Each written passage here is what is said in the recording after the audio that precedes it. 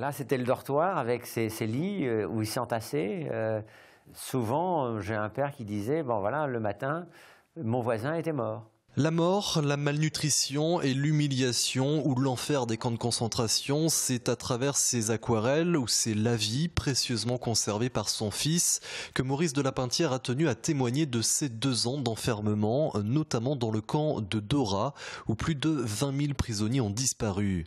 Maurice de la Pintière matricule 31 115 alors âgé de 24 ans en avril 45 en reviendra quant à lui mais hanté par les images de la terreur quotidienne des déportés.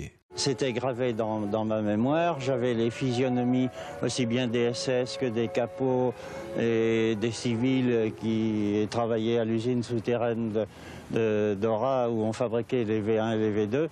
Et donc, euh, il fallait que je le fasse tout de suite. Dessiné pour témoigner, Maurice de la réalise ainsi dès 46 35 la vie, quelques peintures et ce journal, des œuvres plutôt que des paroles quand il revient des camps de concentration, c'est un, homme qui mesure à peu près 1m75, qui pesait 35-40 kilos.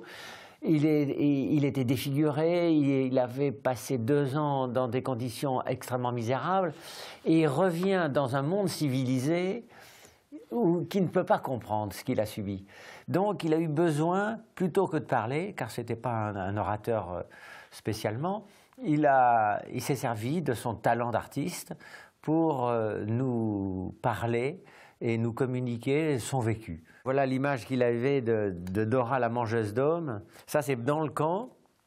La charrette du matin qui amenait le pain, la charrette du soir qui ramenait les morts. Laisser une trace et raconter l'enfer, ces œuvres sont de véritables témoignages de l'atrocité, mais elles ont aussi un rôle de mémoire. Comme c'était un homme qui avait une forte mémoire visuelle, eh bien, euh, il s'est souvenu de, la façon dont était tout le camp. Il y a le chenille qui est là, il y a le deuxième crématoire, ça c'est peut-être le tunnel. Et il voulait ne pas oublier et donc euh, se souvenir de toutes ces étapes.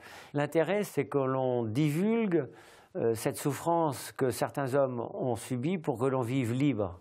Donc c'est cela, on peut conserver une certaine liberté que si on se souvient de ce qui s'est passé, de notre histoire. Et ça fait partie, c'est une page de notre histoire, aussi douloureuse soit-elle. Et c'est pourquoi aujourd'hui, 70 ans après la libération du camp de Dora et 9 ans après le décès de son père, Bruno de la Pintière continue d'exposer ses œuvres et d'entretenir la mémoire d'un déporté rescapé qui, sans jamais oublier, a pourtant pardonné.